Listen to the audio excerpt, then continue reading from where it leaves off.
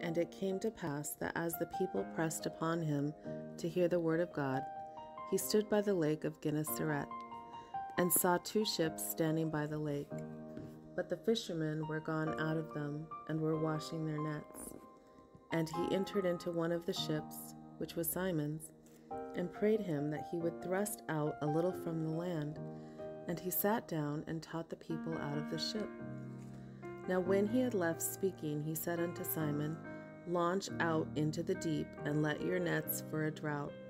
And Simon answering said unto him, Master, we have toiled all the night, and have taken nothing.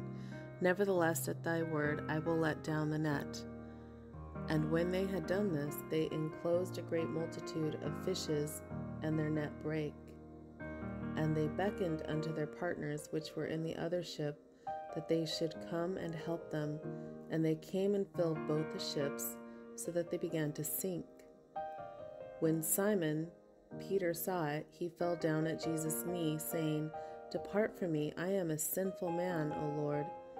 For he was astonished, and all that were with him, at the draught of the fishes which they had taken. And so was also James and John, the son of Zebedee, which were partners with Simon. And Jesus said unto Simon, Fear not, from henceforth thou shalt catch men. Thank you for watching. God bless you.